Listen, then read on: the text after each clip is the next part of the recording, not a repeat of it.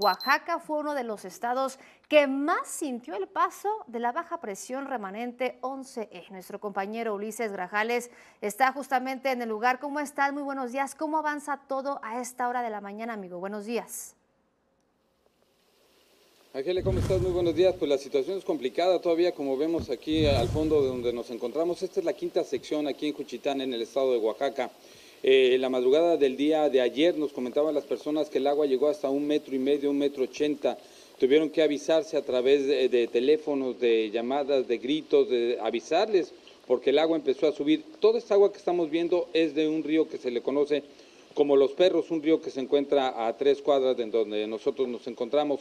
Entre más al fondo estemos, el agua está teniendo un, un cauce mucho más alto. El día de ayer había bajado, pero nos comentan los vecinos que otra vez con la lluvia como bien comentabas, este remanente que queda de esta baja presión de la 11E, pues continúa lloviendo, durante toda la noche estuvo lloviendo, pero ahorita está comenzando a llover con mayor intensidad.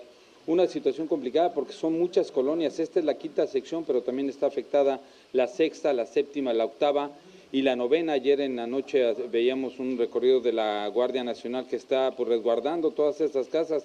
Algunas personas tuvieron que ser evacuadas, nos comentaba ayer la gente de Protección Civil que solo quedaban 70 familias en el Instituto Tecnológico de aquí de Juchitán, pero la situación está complicada. Según información del Servicio Meteorológico Nacional, pues va a continuar lloviendo durante este viernes y mañana también. Entonces, eh, todas estas personas nos comentaban que ayer tuvieron que salir corriendo, tuvieron que salir, este, pues, eh, dejar sus pertenencias. Había personas enfermas que tuvieron que eh, ser rescatadas por la gente de protección civil y pues desafortunadamente así se encuentra la mañana aquí en esta quinta sección, aquí en el estado de Oaxaca, eh, Argelia.